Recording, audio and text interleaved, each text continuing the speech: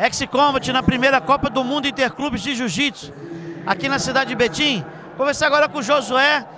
Você é faixa azul. Isso, faixa azul. Faixa azul. Veio pra cá, você é de Brasília, né? Como é que foi tua viagem pra cá? Você já conhecia Betim?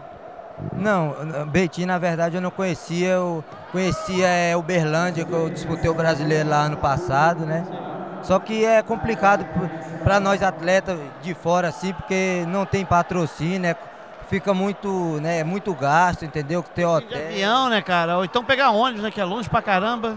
Ônibus ou, ou van, tem que alugar van, esse negócio, então é muito complicado, entendeu? Não tem patrocínio, entendeu?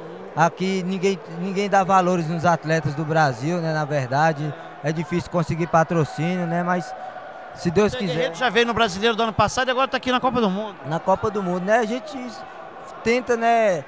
Fazer o melhor, dar o melhor, né? Vai num canto, vai em outro, tenta conseguir dinheiro, né? Na verdade, e tenta vir, né? Dar o melhor aqui para chegar aqui e fazer a diferença. Beleza, então, cara, quem quiser te patrocinar, você tem algum telefone, algum e-mail para o pessoal entrar em contato contigo? Tem sim, tem meu e-mail, brita, underline j, arroba hotmail. Brita com um T só?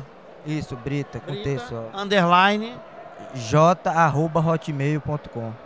Brita, underline j, arroba hotmail.com. Quem quiser ajudar o atleta aqui, entre em contato lá. O pessoal de Brasília com certeza pode chegar junto, né? Ele tá precisando de o pessoal dar inscrição, passagem, hospedagem, para poder chegar aqui e fazer um bom trabalho. Cara, boa sorte aí no campeonato. Obrigado por ter conversado com a gente, hein? Eu que agradeço. Muito obrigado Falou. pela oportunidade. E assista nosso programa lá, todos os sábados, no canal Combate, quatro e meia da tarde. Se tu não tivesse na Todo Combate, tem um monte de barzinho lá em Brasília que tem, tu vai assistir o programa, cara. Obrigadão, viu? Falou, valeu. Paulo Jesus, no primeiro, primeira Copa do Mundo Interclubes, aqui na cidade de Betim, Minas Gerais.